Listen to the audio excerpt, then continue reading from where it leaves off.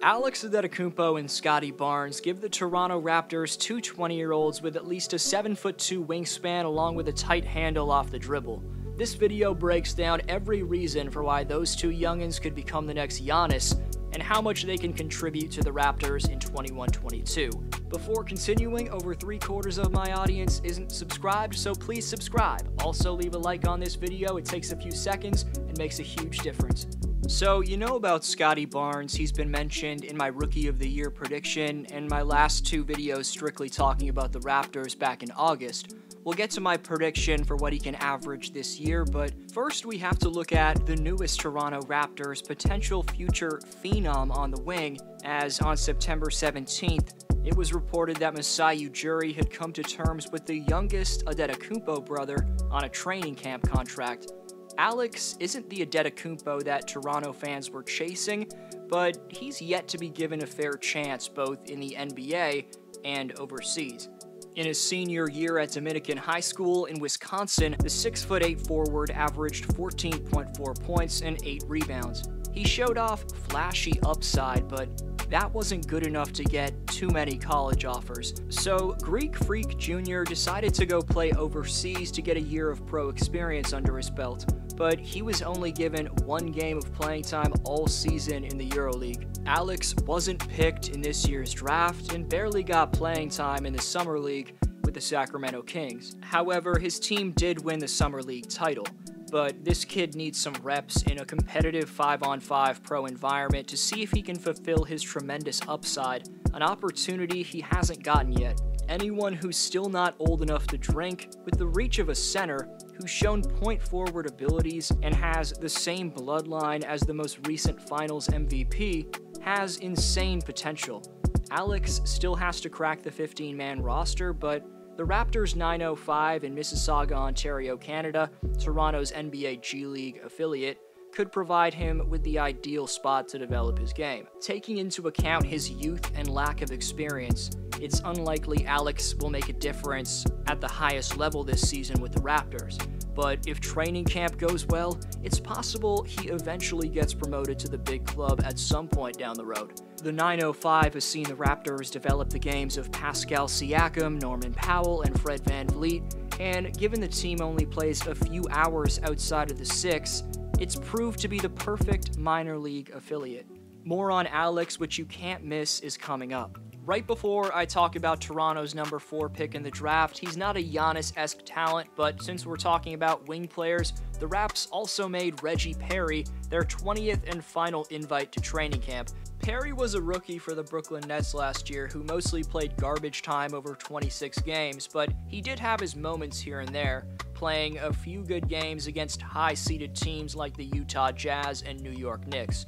Reggie's a small ball four who's a willing screen setter, having shown the ability to spot up from deep range. Like Antetokounmpo, he's of course behind OG, Scottie, Yuta Watanabe, and Siakam in the Raptors' depth chart at forward, and still has to make the team in the first place. However, I think Reggie's pro experience will allow him to stay on the end of the bench because Toronto's going to need an injury replacement if one of those aforementioned wing players go down. With the far better chance of becoming the next Giannis than Antetokounmpo's brother, Scottie Barnes has a reach which stretches out one inch further than Alex as Toronto's number 4 overall pick has a 7 foot 3 wingspan. We'll get to his on-court upside, but what's most intriguing about Barnes is the off-court flair he's displayed. From the confident swag in his step, which was displayed at the draft, to his interactions with Raptor fans around the city and already clear admiration for Toronto, the man embraces every bit of the spotlight. His confidence and natural intensity are as important as any other quality that Barnes provides on the court.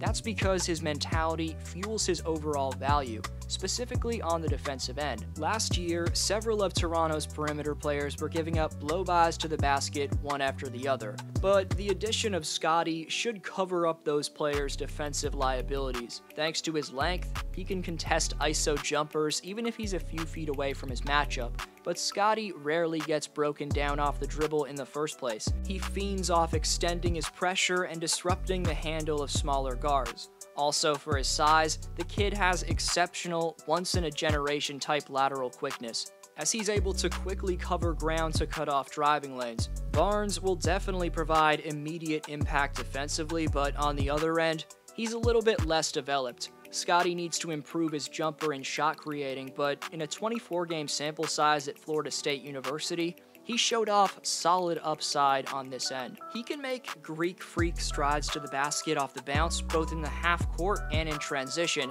as he's displayed an excellent handle and flashes of a three point shot. Barnes was named Rookie of the Year in his college conference, and while many Toronto fans wanted Suggs, as the years progress, Scottie's going to prove the doubters wrong. A few months following his first year at Florida State, in Summer League, the recently turned 20 year old's defense was elite, and his shot creating looked improved. So I'm looking forward to year one of the Barnes project in TO.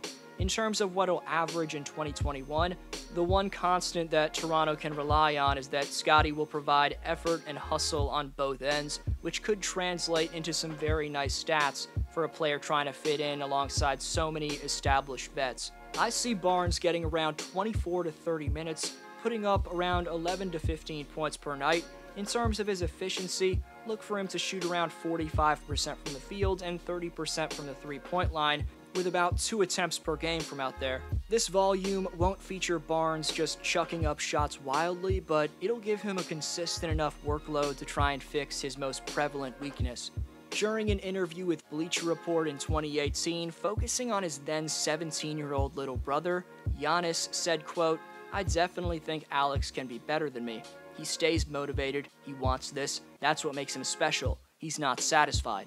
And Giannis clearly wasn't joking, as ahead of Alex's pre-draft workouts this past July, he doubled down on that statement, saying, quote, Alex Antetokounmpo can be better than me. We should probably take the word of the Greek freak seriously, given he was saying the Milwaukee Bucks were built for this all year, and he ended up being spot on. Also, with versatile, lengthy forwards being about the hottest commodity there is, Alex has the perfect build and skill set for the modern NBA. Of course, he's still extremely raw, and there's still so many questions about his lack of playing time but I think this kid just needs a chance to blossom, and regardless of how he performs in Summer League, if I was GM, I'd put him in the 905 this year. Whether or not Toronto's a playoff team in 2021 is a video for another day, as it's debatable right now given talented near all stars like Fred Van VanVleet and Pascal Siakam are on the roster, along with a top 3 and D player in OG Anunoby. Alex still has to make the team, and it'll be interesting to see how he performs in training camp, but in terms of their top pick in Barnes, he should increase the team's winning percentage.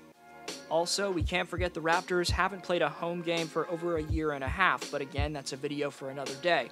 Let me know your take on Toronto's two wing players in the comments section. Do you think either Alex Antetokounmpo or Scottie Barnes can become the next Giannis? Hope you have a great one. D-Flow signing off.